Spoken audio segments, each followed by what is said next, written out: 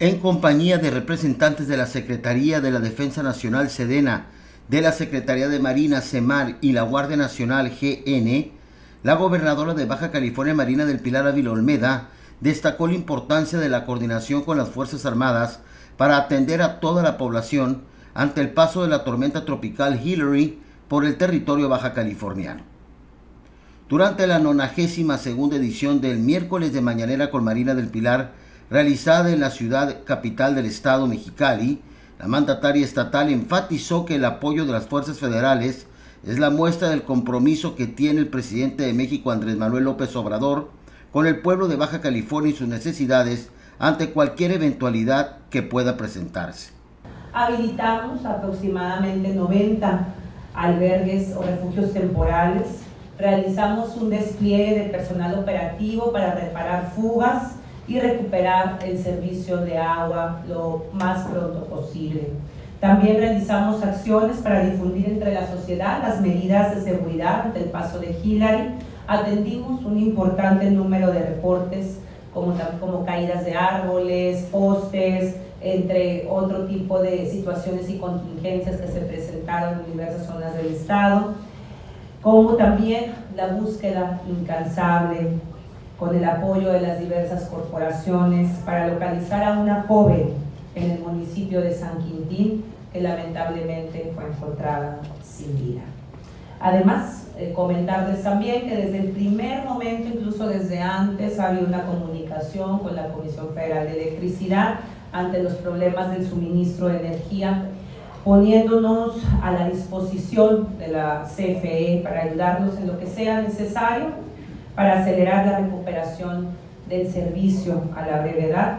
Y eh, pues también el día domingo, como ustedes saben, por la falta de energía hubo problemas en algunas plantas de bombeo, por lo cual algunas colonias se quedaron justamente sin el suministro de agua.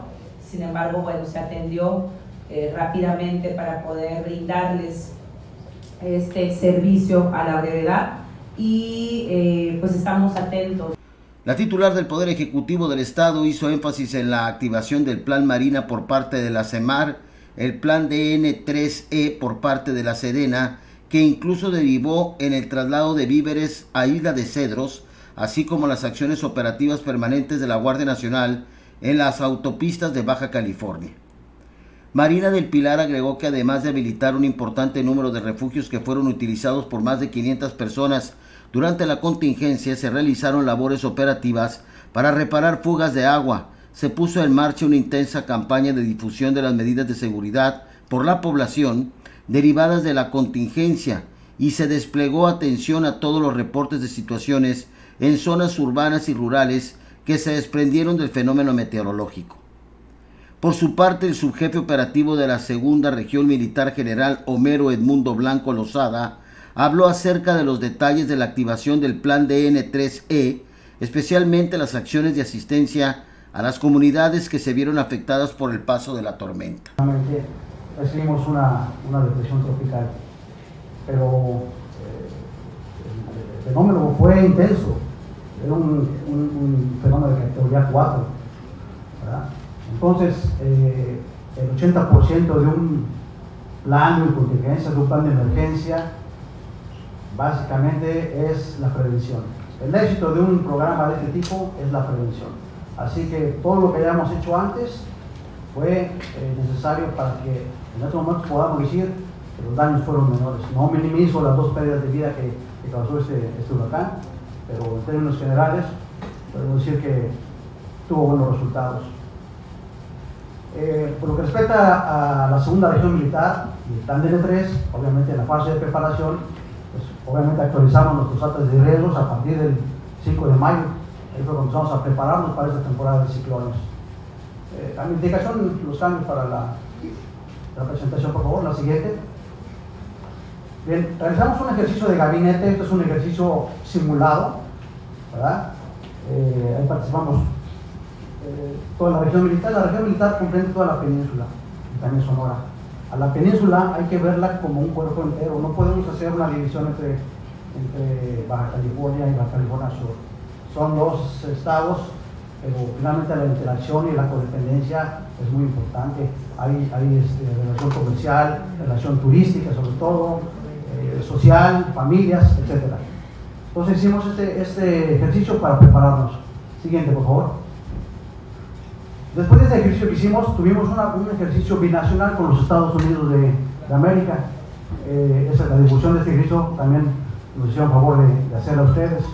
Fueron dos fases, una nacional, aquí en la frontera de Tijuana tuvimos un ejercicio muy importante, donde nos preparamos, vinieron especialistas de la Ciudad de México, aquí hicimos un simulacro, ahí en Tijuana, en la primera fase, y después en una segunda fase cruzamos a los Estados Unidos con todas nuestras fuerzas para prepararnos, para alistarnos en búsqueda de rescate, evacuación aeromédica, este, transporte eh, aéreo, y bueno, actividades muy especializadas.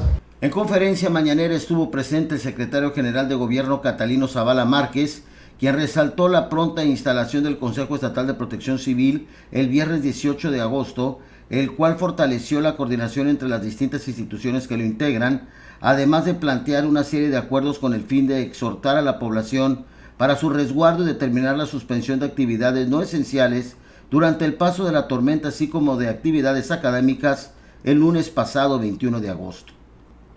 El general Blanco Lozada dio cuenta del trato digno a la sociedad en la instalación de refugios que estaban habilitados en pleno respeto a los derechos humanos, así como de la atención que se tuvo en los distintos caminos de la entidad, misma que permite que a través de diversas acciones las comunidades de la entidad se encuentran comunicadas por vía terrestre.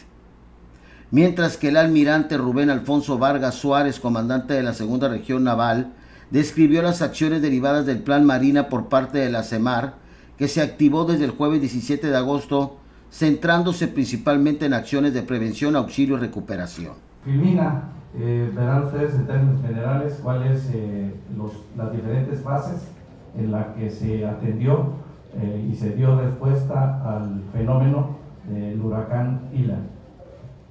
En sus fases de prevención, auxilio y recuperación.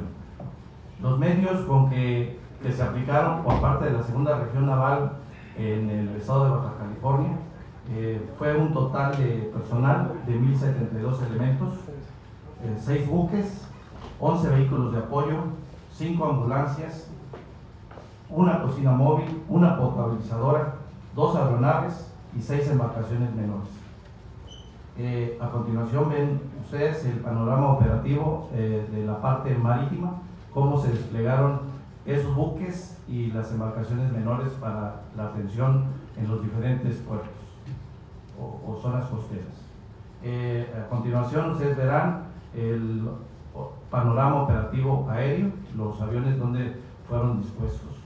Y finalmente el personal de Infantería de Marina y de Servicios que operó en las, en las, en las zonas terrestres en todo el estado de Baja California. Vargas Suárez indicó que se realizaron acciones de rescate y se estableció una línea de trabajo para apoyar a la población en cuestiones fundamentales para mantenerla segura, priorizando a quienes se encontraban en situaciones de mayor riesgo. En representación de la Guardia Nacional, el comisionado Marco Antonio Sánchez Romero explicó que la coordinación estatal de la corporación conformó el Centro de Coordinación de Operaciones que se llevó a cabo en el seguimiento al fenómeno hidrometeorológico. En el mismo sentido, expuso que las y los elementos de la Guardia Nacional proporcionaron auxilio a las carreteras en las vías terrestres federales y se mantuvo comunicación permanente con instituciones que integran el Consejo Estatal de Protección Civil para atender a la población. Desde el gobierno del estado, la mañanera de Marina del Pilar informa para el Jardín de las Noticias Juan Carlos Vildoso Lavaldés.